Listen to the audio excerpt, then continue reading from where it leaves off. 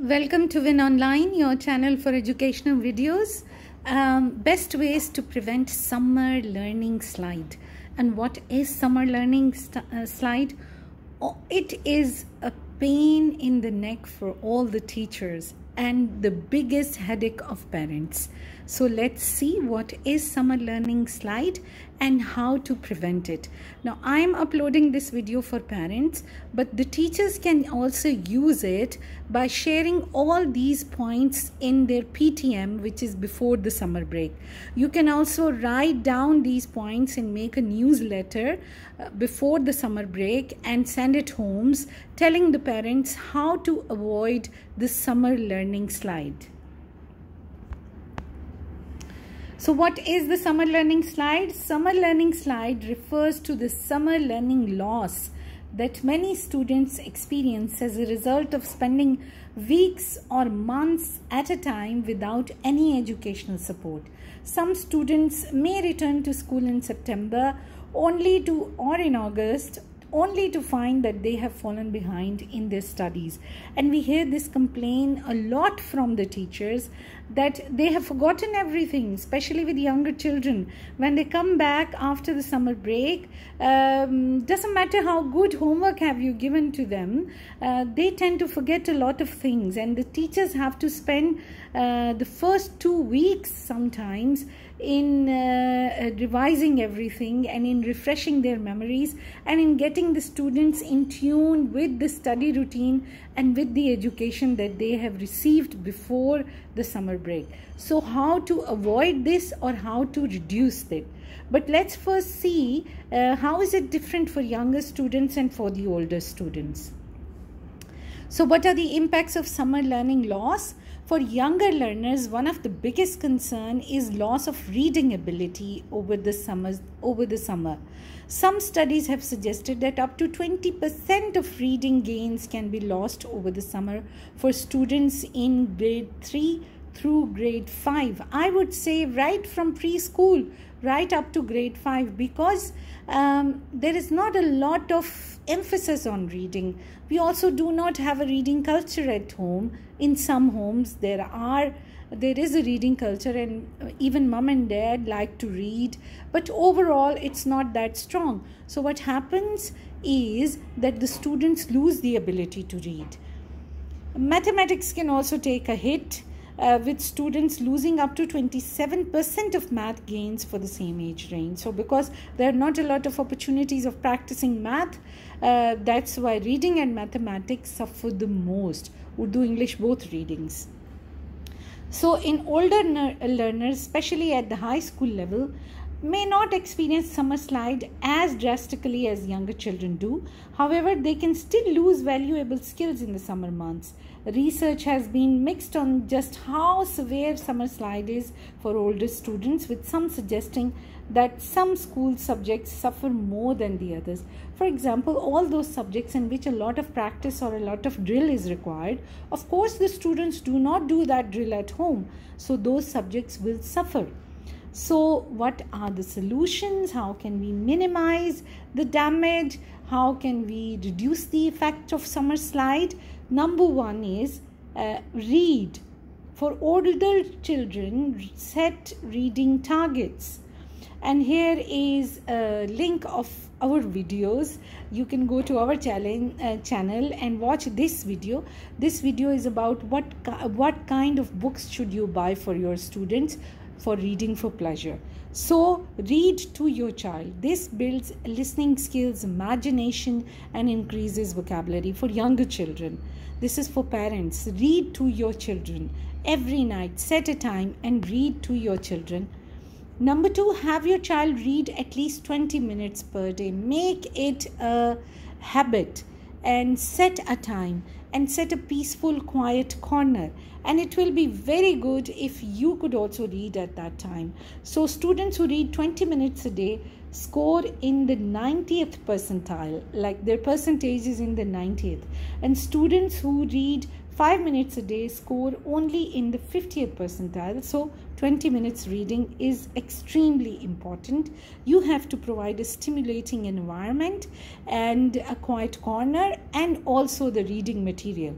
So the, the link of the video that I shared in my previous slide, go to that link. You will see how to choose different books uh, for your children at home visit the library i know that there are not a lot of uh, libraries available for you to go with your children but you can still try and find it out and go to the library sit there. Share this environment is very very peaceful it's quiet. The children also learn a lot of skills how to find a book in the library. We have also uploaded a video about that also. So you can find that in bonus videos by the name of library skills. So there are different numbers written on the books what do those numbers represent?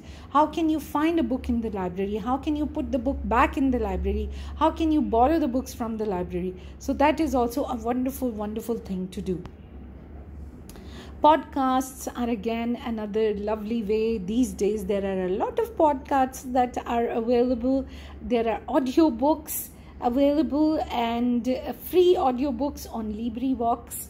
Uh, go to librivox and you will find free audiobooks there. So instead of listening to the radio listen to audiobooks during during long drives or also like for example you are cooking and the children are sitting there. Instead of watching tv just play the podcast just play the audiobooks. You can search different links. There are different audiobooks available. Podcasts are also equally important then uh, engage in meaningful conversation with your child. Meaningful conversation does not mean how are you? How was your day? How are you feeling? Or it does not mean giving instructions don't do this do that do this do that. Or it does not mean comparison like in our days we used to do this and now you do that. It means uh, stimulating conversations uh, for example, choose a topic and talk about that topic. Choose a topic that is of interest to your child or something that is happening, something that is current, something that is relevant. And uh, then you uh, this will boost the language skills quick conversation tips are ask questions be positive give your full attention be encouraging Creative writing is another beautiful, beautiful way of keeping students in touch with the languages that, they are learning at school, uh, enhancing their vocabulary, sentence structure, and also like making them think for themselves and creating stories. So, find reasons for your child to practice writing skills. Write a book, a blog, a zine, a poem. A zine is like a small magazine. So, encourage them to do that. Uh, learn a new word each week and make it important. Write it on a piece of paper and stick it on the refrigerator. Make use of basic word lists. Uh, again, we have uploaded videos about basic word lists. Basic word lists are those words which the students of a certain age must know. And if they do know, then half of their uh, half of the job is done. They can read, they can write, they can spell.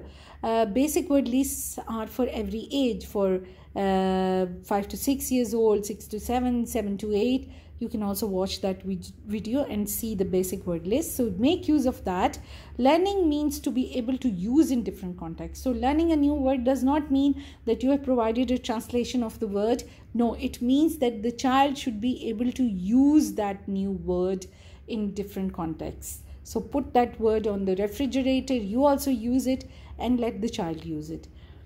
So cook with your child, have your child follow a recipe. This enhances both reading and math skills. So you can role play, you can pretend uh, your child can pretend that he or she is a chef in the in the cooking show and do that record the process repeat with half or double quantities check and count calories. So a lot of math is involved a lot of science is involved. When you record it is funny. The children look at the video again and they see how beautifully were they explaining the process how well were their motor skills how were they using how did the dish turn out. And it is also a learning milestone. Like the children will remember this. It is fun time. So all these things like providing them time to read for 20 minutes, going to the library, doing creative writing, having meaningful conversations, listening to audiobooks and podcasts while driving, modeling reading behavior like you are also reading and they're also reading reading to the younger children reading stories showing them pictures learning a new word every day and cooking while following the recipes, reading the recipes, and recording all those that process will keep your students in touch, though they do not seem so strictly educational uh, activities, but their value uh, is immense and they add a lot of new things to the learning of the students. They learn new vocabulary, they learn mathematical concepts and also you're spending quality time with your children. So to be in your children's memories tomorrow you have to be in their lives today. And summer break is a great time for you to make this opportunity of being in the lives of your children.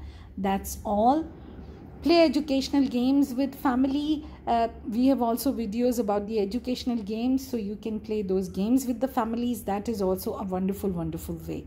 So thank you so much for your attention. Uh, i'm saying again i'm uploading this in the parents corner but equally equally beneficial for the teachers and principals. You can take these points and make a newsletter and send it home before the summer break.